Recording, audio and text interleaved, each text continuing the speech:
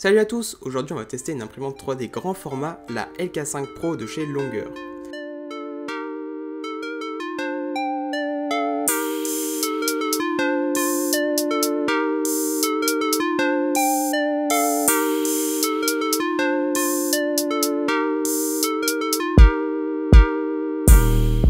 Dans le carton, on y retrouve l'adaptateur USB avec la micro SD. Ensuite, on a le fin de cours Z avec un capteur de fin de filament de secours. On a une spatule, on a un petit échantillon de filament, on a la notice et la conformité européenne. Ensuite, on a le cadre, puis on a les deux barres de renfort avec la tige trapézoïdale. Après, on a le plateau, on a le moteur des Z, le support des câbles du bed, puis un petit collier et une pince pour tenir le bed. On a ensuite toutes les vis et les clés pour le montage.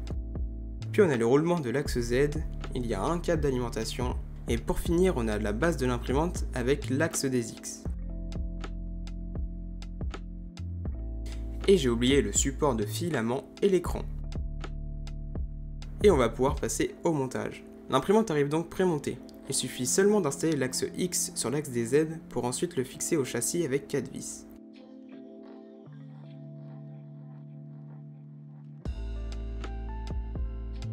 Ensuite, on peut monter le moteur des Z et y insérer la tige trapézoïdale dedans. Ensuite, on peut installer les deux tiges de renfort.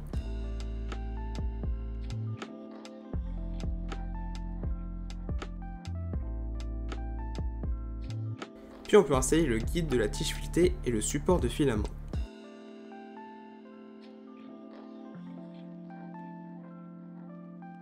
Ensuite, on peut installer le fin de course Z. Et pour finir, on peut installer l'écran et faire tous les branchements. On commence par brancher le fin de course des Z, puis l'écran. Ensuite, on a le fin de course de l'axe X avec son moteur. Ensuite, on a le moteur de l'extrudeur et le capteur de fin de filament. On peut aussi installer le support des câbles du plateau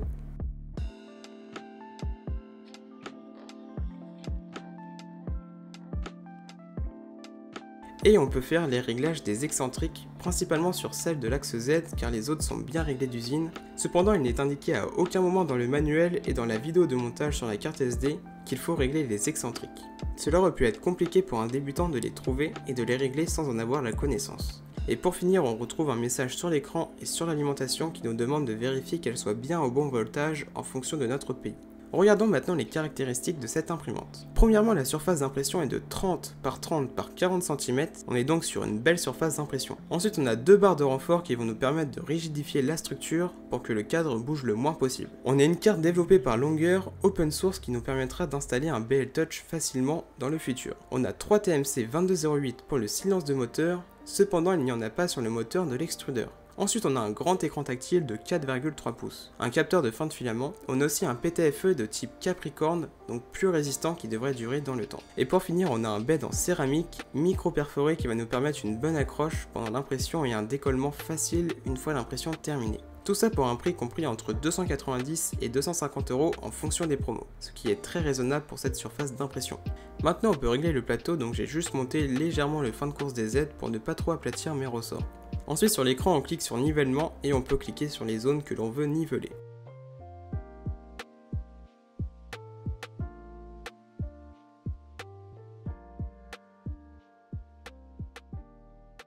Et on peut lancer les différentes impressions de test présentes sur l'ASD.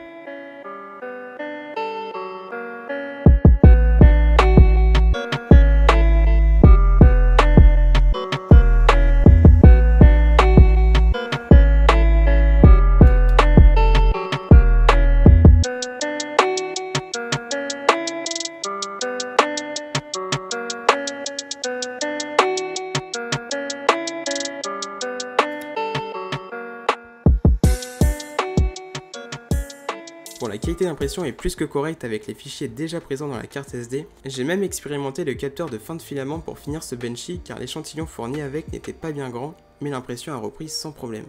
La surface a bien accroché, rien à dire là-dessus.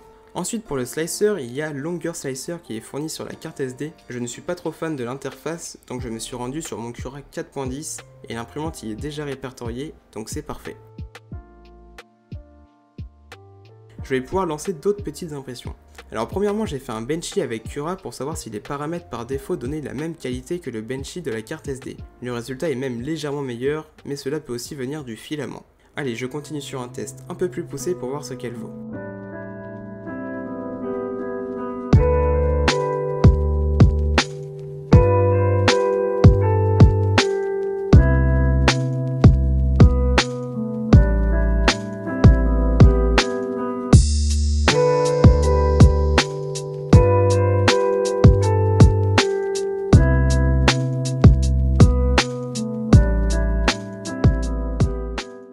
Suis plutôt surpris du test de porte-à-faux, elle a réussi jusqu'à 70 degrés. Ensuite, elle a bien réussi les ponts, les codes semblent respectés et l'impression est de très bonne qualité. Bon allez, je continue de faire quelques impressions avec et on se retrouve pour la conclusion. J'ai donc imprimé une pyramide fractale car c'est très complexe à imprimer et elle l'a très bien imprimée.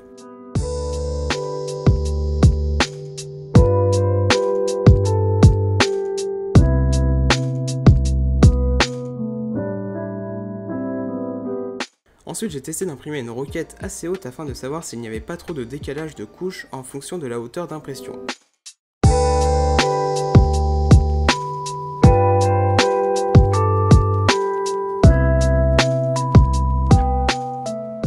Le résultat est très bien et les barres de renfort ont très bien fait leur travail.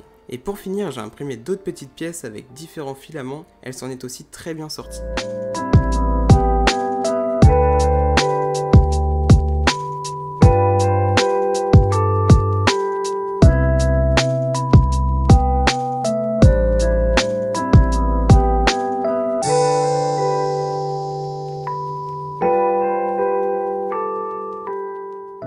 Bon, comme vous avez pu le voir, cette imprimante est très agréable à utiliser. On est sur un modèle proche d'une CR10 avec une qualité d'impression similaire. J'ai aussi beaucoup aimé l'écran qui est plutôt grand et le firmware de cette imprimante est vraiment pas mal.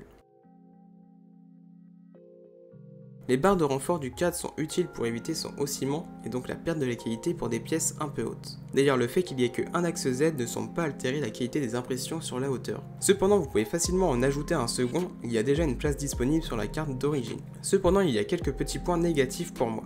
Premièrement les moteurs ont beau être silencieux, malheureusement les ventilateurs ne le sont pas du tout. C'est dommage mais c'est aussi compréhensible pour le prix de cette imprimante. Ensuite, il y a l'extrudeur qui est en plastique, il semble résistant, mais il faut s'attendre à ce qu'il casse au fil du temps, comme tous les extrudeurs en plastique.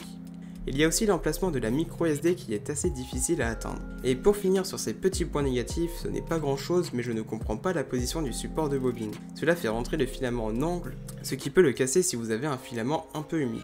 Bon, malgré ces petits défauts, cette imprimante reste très bien pour son prix et son volume d'impression. Pour les plus bidouilleurs d'entre vous, il sera très facile d'installer un BL Touch ou bien de changer le firmware, tout est open source. Sur ce, je vous dis à la prochaine pour une nouvelle vidéo, salut